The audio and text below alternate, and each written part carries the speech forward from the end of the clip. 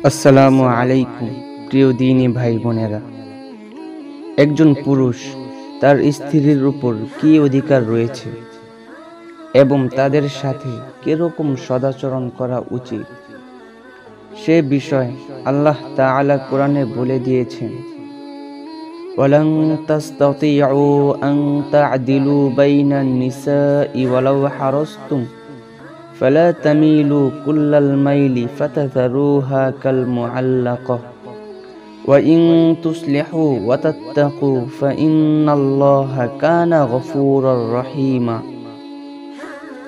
তোমাদের স্ত্রীদের মাঝে পুরোপুরি ন্যায় বিচার ও নিরপেক্ষতা বজায় রাখা তোমাদের শ্রদ্ধাতি তোমরা মন প্রাণ দিয়ে চাইলেও তা করতে পারবে না রসুল সাল্লাহ আলাইহি ওয়াসাল্লাম বর্ণনা দিয়ে বলেন, নারী জাতিকে পাজরের বাঁকা হাড় দ্বারা সৃষ্টি করা হয়েছে। আর পাজরের হাড়গুলোর মধ্যে উপরের হাড়টাই সবচেয়ে বাঁকা।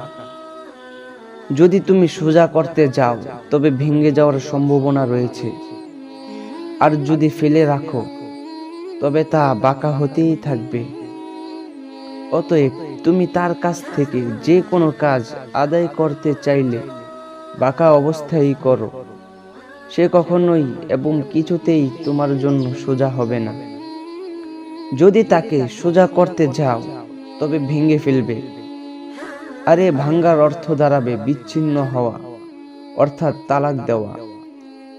সুতরাং তোমরা তাদের সাথে সদাচরণ ও সদ্ব্যবহার করো। কেননা তারা তোমাদের হেফাজতে রয়েছে। তোমরা তাদের কাছ থেকে বৈধ সুযোগ সুবিধা লাভ ছাড়া অন্য কিছুর অধিকারী নও। আর হ্যাঁ তারা যদি প্রকাশ্যে অশ্লীল কাজে লিপ্ত হয়, তবে তোমাদের বিছানা থেকে তাদেরকে আলাদা করে দাও। এমনকি প্রয়োজনে তাদেরকে প্রহার করো, কিন্তু কঠোরভাবে নয়। যদি তারা তোমাদের অনুগত হয়ে যায়, তবে তাদের জন্য ভিন্ন পথ অনুসন্ধান করো না। সাবধান, তোমাদের স্ত্রীদের উপর যেমন তোমাদের অধিকার রয়েছে, তোমাদের উপরও তাদের অধিকার রয়েছে।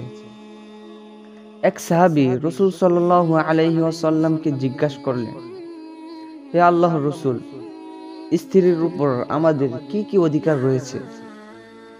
তিনি জবাবে বললেন তুমি যখন আহার করবে, তাকেও আহার করাবে। তুমি যখন পোশাক পরিধান করবে, তাকেও পরিধান করাবে। কখনো তার চেহারা কিংবা মুখমণ্ডলে আঘাত করবে না। কখনো তাকে অশালীন ভাষায় গাল দেবে না। এবং ঘরের ভেতর ছাড়া তার থেকে আলাদা হবে না। আল্লাহ তাআলা কোরআনে বলেন ওয়াশিরুহুন্না বিল মা'রুফ।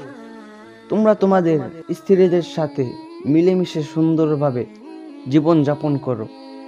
সুতরাং আমরা আল্লাহ তালার আদেশ অনুযায়ী সুন্দরভাবে জীবন যাপন পরিচালনা করতে চেষ্টা করব ইনশা আল্লাহ